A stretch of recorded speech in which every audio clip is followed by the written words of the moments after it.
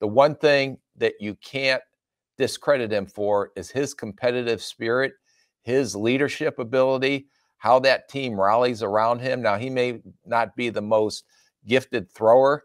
You know, I watch him and he makes some incredible throws. It's like, wow. And then I see him leading receivers across the middle of the field, and it's like you're watching a movie and you're seeing, I know this is going to be a train wreck. Do I still watch this or do I turn my head?